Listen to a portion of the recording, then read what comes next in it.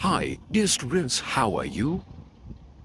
Hopefully you will be fine. I am here with a new mathematical percentile problem. 50% divided by 25% is equal to how much percentage? Dear students, we can write it 50% divided by 25 percent. And remember that percentage is equal to 1 by 100. So 50% mean 50 divided by 100 and divided by 25% mean 25 divided by 100. Dear students, you are well aware of KCF.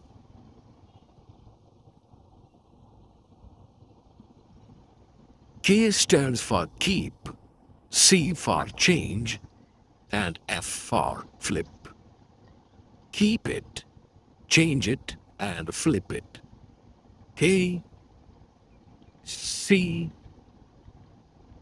F. Keep it. Mean it will remain same, unchanged. Keep it. 50 divided by 100. Change it.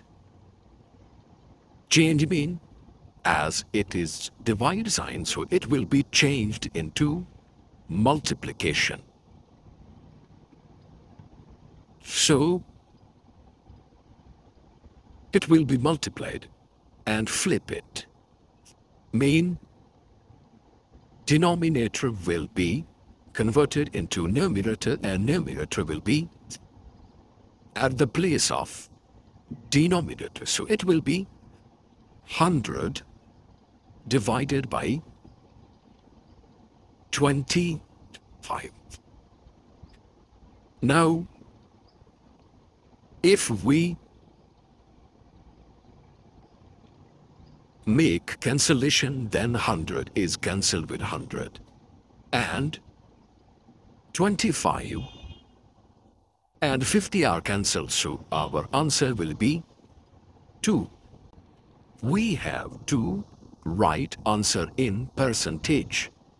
But it is a simple digit, so we will convert it into percentage. It means 2 divided by 100 and multiplied by 100.